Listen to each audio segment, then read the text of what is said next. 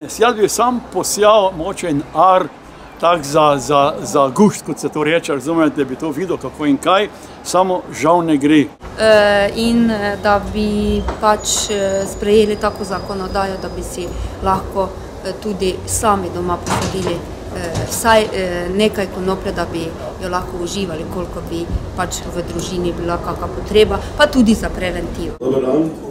Uh, lepo pozdravljen vsi skupaj, moje ime je Božida Radišic, sem član društva OMEJ. Uh, naše društvo skuša malo širiti vedenje o konoplji uh, in o razn, raznih problemih povezanimi z njo in okrog nje. Danes bomo skušali najprej v prvem delu na, na hitro preleteti, kako do lastne konoplje v namene zdravljenja, In pa seveda na hitro tudi, pri kateri dan bomo malo hitrejši, ker smo povedali že včeraj, eh, malo o zdravljenju s konoplo in tudi rezultatih eh, zdravljenja. Eh, zdaj ste? Evo.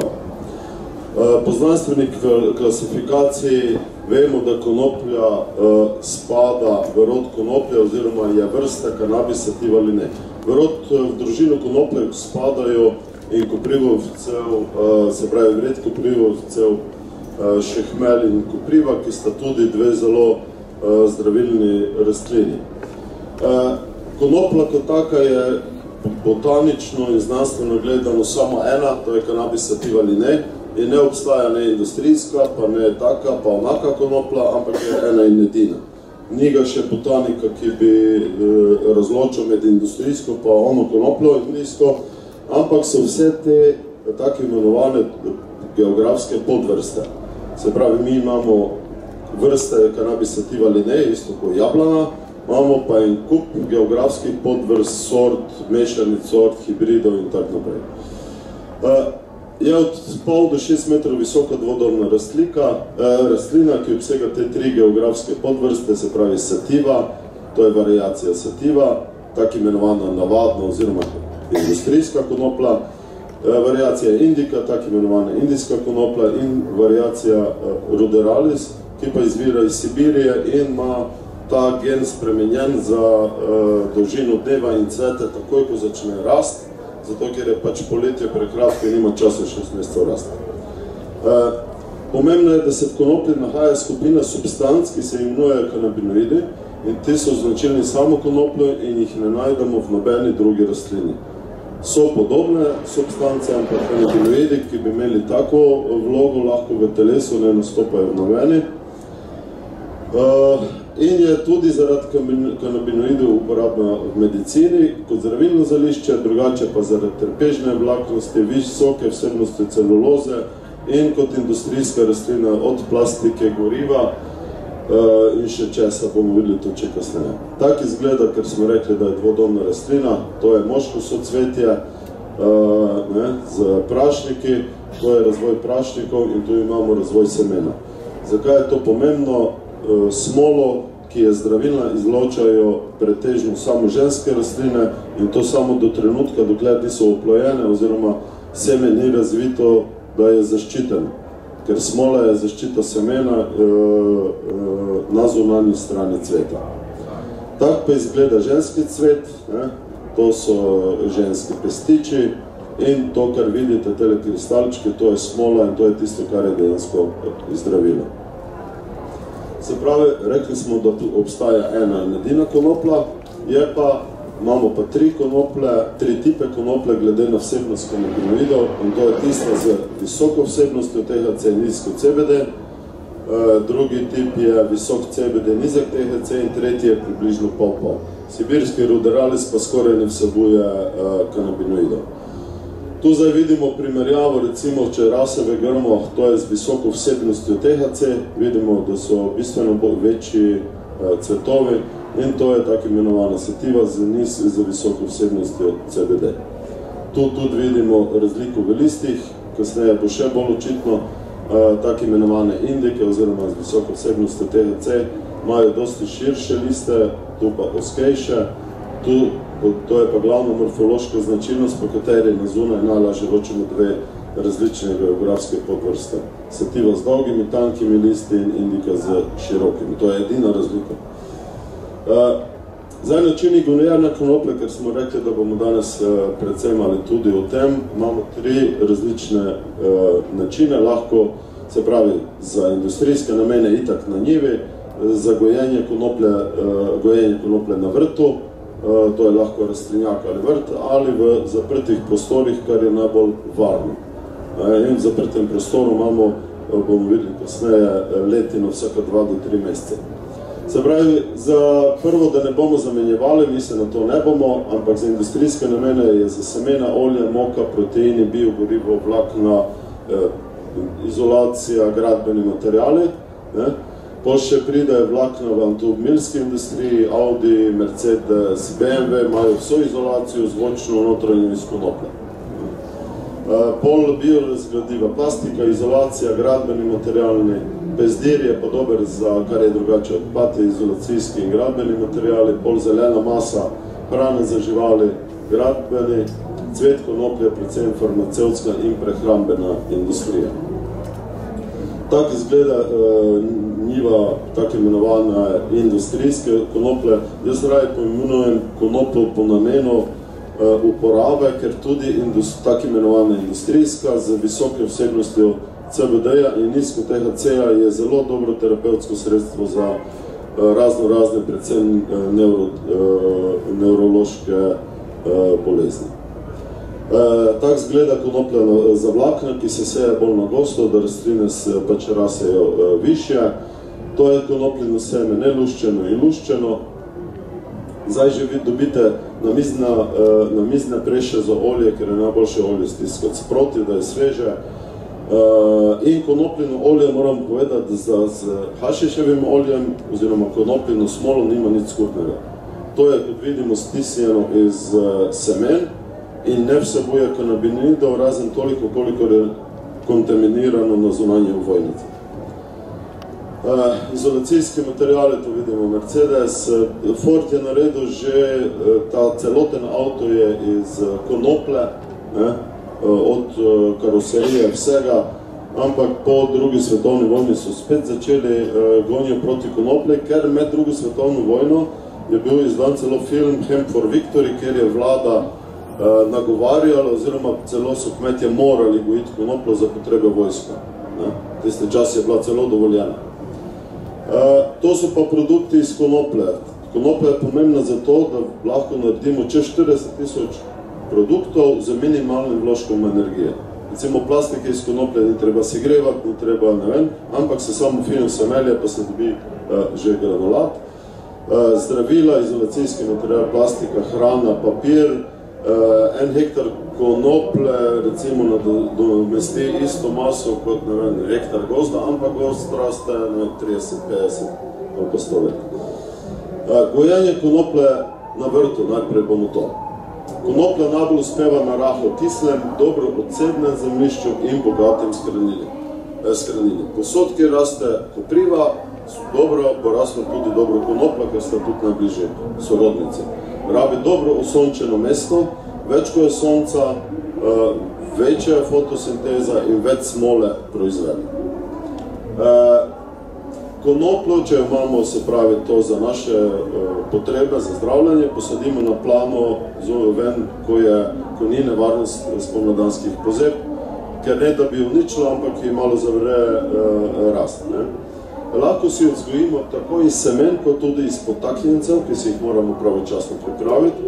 Eh, da je sedaj pravi čas za semena in vse to eh, smo napisali tudi en članek v reviju Misterije, da se bodo lahko ljudje sproti, glih danes dokončujem drugi del, sproti vzgajali konoplo, kar je pač treba v tistem prihodojočem mesecu. Eh, Če ne uporabljamo tako imenovanih feminiziranih oziroma ženskih semen, moramo vse moške rastline odstraniti, ker drugače bomo imeli bistveno manj smole oziroma bomo imeli semene.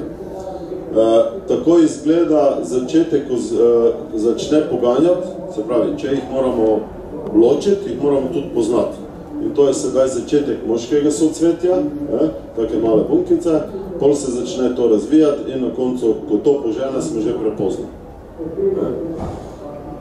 tole je pa ženski cvet, oziroma ženski socvetje, tu vidimo prve, z indernodijo prve laski, tako imenovani, pol jih je vedno več in na koncu zgleda ženski cvet približno tako. To je zrela, zrela rastlina, pripravljena za žetev. E, to je pa recimo v rastlinjaku, e, to je bilo leta 2012, recimo dva tedna pred e, ubiranjem, ali pa doma pri mene na vrtu v Obešankah, e, recimo, ali pa si lahko gojite, to je prav tako na vrtu zunaj, e, na permakulturnem, Eh, ali pa recimo na balkonu, to je ena fotografija iz Barcelone, kjer je to že leta pa leta dovoljeno za lastno uporabo. Eh, za lastno uporabo so celo vrhovno sodišče Hrvaške je dovolilo, eh, zdaj je nemška sodba, avstrijska sodba je že, naše tudi nekaj se premikajo, sem bolj kilavo,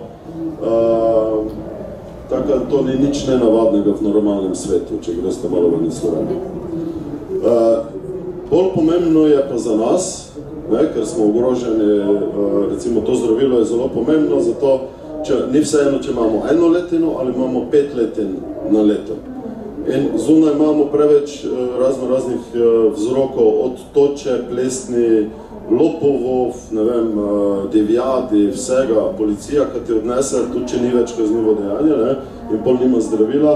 Mi, zato smo že pred, mi pač eni smo bili prisiljeni to gojiti pred 20-30 leti in smo si pač izmislili take uh, mini grob prostore, kjer simuliramo naravne pogoje, da lahko pač rastlina rase. Pravilo je, da dobimo na uh, različne žarnice, tu bomo videli en vat, en gram cvetov na en vat žarnice, če delamo tako, kak je prav. Prav je, kao vas to tisti, ki vam opremo prodajajo, dobro podočijo, ne samo prodajajo. Uh, gojenje v zaprtih prostorih, se pravi, mi simuliramo veter z ventilatorjem, uh, tole je luč, ki mora biti ali HPS, ali soletke, ali pa plazma, najbolj so natrijeve žarnice, ker so nekaj cenovno najbolj ugodne. Uh, in nekje v osmih, ker konopla cvete v umetnih pogojem cirka 8 tednov, imamo vsaka dva meseca do, do tri, odvisno, če delamo iz semena ali sklona, lastno zdravilo. Pol se to posuši, to bomo še videli. Ne, lahko imamo ne vem, v kuhnji, v kopalnici, v kjerikoli sobi, ne, to so recimo omara za male e, rastline, tu pa prikazuje, kako mora biti takšen prostor narejen, da pravilno da kroži zrak, ker zrak mora krožiti, ker rastlina sama nima mišic in zato mora pač krožiti zrak, da lahko izmenjuje pline. Sušenje in priprava. Zdaj, da bi se preveč podrobno v samo gojenje tu časa ni, Eh, lahko se obrnete na naše društvo, vam bomo dali kakšne informacije eh, o gojenju, tudi eh, za predalavo pa bomo enkrat drugič. Sušenje in priprava zelišč. Ko je zelišče, se pravi končano, ko je približno takšni cvet, kot sem prej pokazal, ne, to je približno 70% tistih belih laskov mora porumeneti, jih enostavno uh, očistimo tistih stranskih velikih listov, na katerih ni smole in jih obesimo za teden do dva na zračno temno mesto. Pomembno je, da je temno, ker to je tak. Ne? Če ti dobro vzgojiš neko rastlino ali pa recimo trto, vsak ima dobro grozdje, nima dobrega vina. To je podobno pri konoplje. Vsak ve vzgojiti, pol pa večinoma vsi naredijo kiks in pri uh, sušenju, fermentiranju in shranjevanju naredijo in pol splesnije, zagnije in pol nimate nič od tega. Ne? Zato je premalo, da te neko, nekdo porine seme, morate naučiti, kaj s tem semenom pol naprej. Uh, ko je to suho, jih lahko damo recimo v flaše, uh, lahko jih damo, uh, lahko jih vakumiramo in damo v zmrzovalnik, v tem primeru lahko zališče imamo tudi uh, 5 pa 10 let v zmrzovalniku suho seveda. Uh, ker je zelišče povezano z, z, tudi z boleznimi, bomo hitro preleteli tudi malo, kaj se da zdraviti, pa kakvi so rezultati. In sicer, uh, to sem prej že rekel, da je uh, smolo konopla proizvaja, ker vidimo, da izvira iz visokogori srednjeazijskih in smola je zaščita rastline pred UV sevanjem. Uh, Zato smolo proizvaja rastlina samo dokler ni seme tako daleč, da je samo sebe zaščiteno z ovojnico. Ne? Prvi znani zapisi se datirajo že več kot 6000 let nazaj v uporabi v medicini in so uporabljale vse stare predantične in antične znane civilizacije. Do 20. stoletja je bila najbolj razširjena kmetijska rastlina in vse, kar so ljudje nosili, je bilo skonople. Se bo oblačila iz lanu, bog ne daj volne, so se lahko privoščili samo bogatejši sloj, sirotinje je ponosila konoplja. Tudi o njeni, mislim, hitri rasti in to prej je bil pregovor rase kot konopla in ko je bila prepovedana, pa vsa ta gonja so spremenili to v koprivo. Stare knjige še vedno pravijo kot konopla. Kot zdravilo so uporabljali vsi od Asirije do Skitov, Perzijcev, starih Grkov. Zanimivo je, da Rimljani in Grki stari niso uporabljali smole, ampak so kuhali rastlino oziroma predvsem korenine za razno razna vnetja pa bolečine. In že takrat so uporabljali to za zdravljenje malarije, putike, beri-beri, reumatizma, raztresenosti, je zdaj, ne vem, ADHD, po novem recimo, ne vem, zaprtje, ne. In sicer Asirci za verske obrede in omembe pri opisu nevroloških bolezni, predvsem pri epilepsiji, ne. Pol sveta rastlina Benk iz Indije ohranja zdravje, podaljšuje življenje. Se pravi, stari Rimljani so preverili korenine, ki so pol s tem blažili krče v sklepih, protein, putiko, se pravi, in ostale bolečine, podobno Grki. To, če bi tako vzeli, je kot ena trava v eni državi, ko raste različna trava, pa če raste konoplja na prostem. Pri nas pa še ni na prostem, je že bila. Ko so od od mojega moža starši govorili, da je rasla kot trava po njivi pa povsod tod. Tudi sama bi jo sadila, samo ne vem, kako bi mi kaj uspevalo, nisem tega vajena. In bi želela, da bi dovolili jo saditi tudi v manjših površinah, torej tudi vrtičkarskih, zato da lahko uporabimo za svoje namene. Že v sami naravi mislim, da ima človek pravico, da si vzgoji eno rastlino, stvar, ki je narava mu dala. In je to druga, kot če zrasti ta denar. Tukaj je zrasla za tebe, ker si ti gojil svoje ljubezni. Je zrasla samo za tebe, ne za denar.